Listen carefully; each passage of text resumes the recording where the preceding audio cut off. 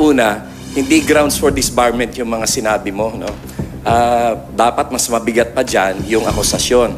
Ah, pangalawa, ah, yung, yung mga paratang nila sa akin na, sinas, na sinasabi nila mga immoral, wala namang immoral. Sa pagkakaalam ko, hindi nakakamatay yan. Ang nakakamatay, yung Dingvaxia, yung Yolanda, no, yung Sub 44. Pero yung mga sinasabi ko, ang hanglang at tapang lang ng pananalita. Pero wala akong pina